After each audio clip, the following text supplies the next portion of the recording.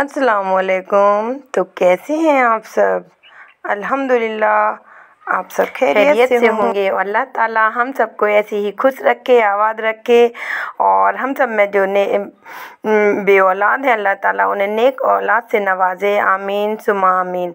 तो चलिए एक नए ब्लॉग के साथ इंडियन ब्लॉगर सफ़ीना है जो आ गई है आप सबके।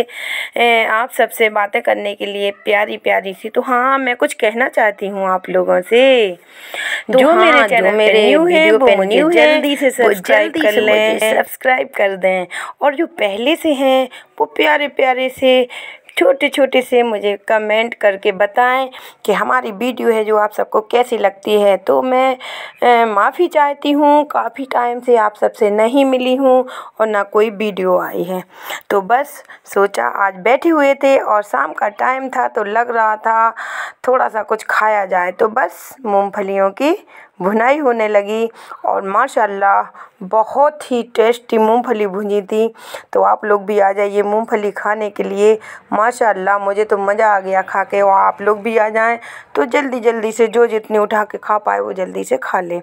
तो बस आप लोग ये बताइए, आप लोग कैसे हैं? और इतने दिन हो गए, बहुत से हमारी यूट्यूब फैमिली से शिकायतें आ रही हैं, बहुत सी शिकायतें आ रही हैं कि सफ़ीना जी आप कहाँ हैं? और आजकल आप आपके ब्लॉग वगैरह कुछ भी नहीं आ रहे हैं तो मैं सबसे माफ़ी चाहती हूँ और यहाँ पर रखा हुआ है मसाला और हम बना रहे हैं क्या? तो हम आपको सब बताते हैं हमने आज क्या बनाया। तो आज जब हम किचन में गए तो देखा कि कोई सब्ज़ी नहीं है हमारे पास में तो हमने कहा, चलिए कुछ अलग से बनाया जाए। यानी जब कोई सब्ज़ी घर में ना हो तो समझ में आता है कि क्या बनाएँ क्या बनाएँ, दिमाग ख़राब होता है। पर मेरा दिमाग बिल्कुल ख़राब नहीं हुआ। मैंने कहा, चुटकियों में मूंग की दाल है जो उसको फूलने के लिए डाल दो। तो बस एक घंटे के लिए हमने मूंग की दाल को भिगोया। वो अच्छे से फूल गई तो उसका हमने महीन सा पेस्ट बनाया और चीला बनाया उसके। और इस सब्ज़ी को बोलते हैं हम लोग लोटा पोटा की सब्ज़ी। हो आप लोग क्या बोलते हैं? हमें कमेंट में ज़रूर बताना। तो बस यहाँ पर है जो हमारे लोटा पोटा हैं जो सीख गए थे और हमने मसाला भी पीस लिया था तो बता देते हैं। मसाले में पीसा था हमने मसाले में लहसुन, प्याज, अदरक और साथ में एक बड़ी इलायची थोड़ी सी दालचीनी का टुकड़ा पीस लिया था। उससे क्या है, टेस्ट सब्ज़ी का बहुत अच्छा आता है। तो बस यहाँ पर है जो हमने तेल, जब जब हमने कढ़ाई में तेल डाला तो हमने बघार लगाया प्याज और लौंग से। और हाँ इसका प्याज और लौंग से ही बघार अच्छा लगता है। और बस मसाला हमने भुनने के लिए रख दिया है तो वो भुन रहा है और इस तरह से हमें महीन पेस्ट है जो बनाना है दाल का। तो कौन कौन बनाता है हमारे जैसी लोटा पोटा की सब्ज़ी वो कमेंट करके मुझे ज़रूर बताएँ।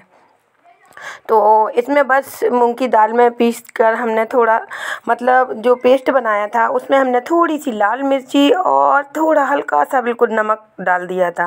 क्योंकि इस जो लोटा पोटा के चीला हैं, इनमें भी टेस्ट होना चाहिए।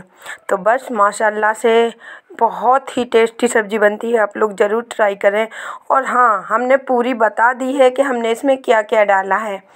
क्योंकि पहले है जो हम ये रेसिपी मेंशन कर चुके हैं, यानी दिखा चुके हैं तो आप लोग देख सकते हैं। तो भाई, बस यहाँ पर है जो मसाला अच्छे से सीख रहा है और माशाल्लाह से आप जो लोग कम तेल मसाला खाते हैं, वो थोड़ा कम डाल दें, पर यहाँ पर हमने ज़्यादा तो नहीं डाला, पर जैसा हम लोग खाते हैं, हमने वैसा ही डाला। तो बस जो हमने लोटा पोटा बनाए थे, उनको छोटे छोटे से टुकड़ों में तोड़ लेते हैं।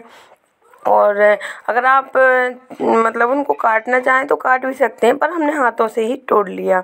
तो बस हम सबसे माफ़ी चाहते हैं कि हम इतने दिनों तक नहीं आए, पर इन आगे जितनी भी वीडियो आएँगी, जल्दी जल्दी ही आएँगी और आप सबसे जल्दी जल्दी मुलाकात भी होगी।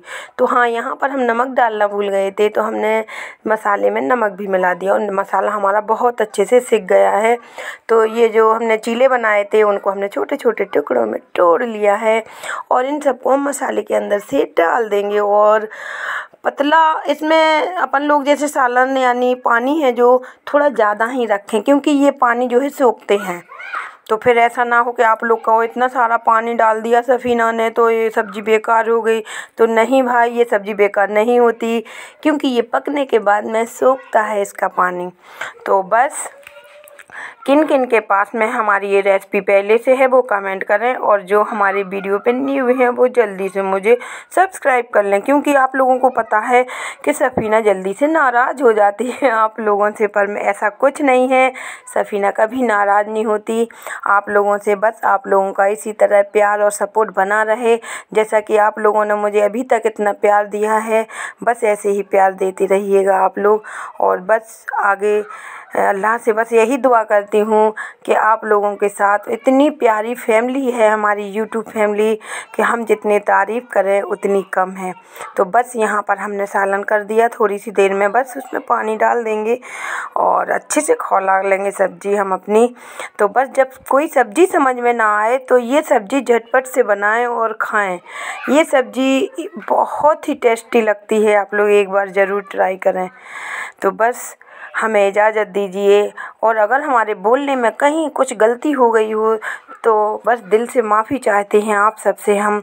और आप सबका इतना प्यार देख के सच बताएँ तो मुझे अपने आप पे सोचना पड़ता है कि ऐसा क्या जो हम लोगों को इतना सारा हमें इतना सारा आप लोग प्यार देते हैं। तो बस चलती हूँ, दुआओं में याद रखिए। नए वीडियो के साथ आएँगे। अल्लाह हाफिज़।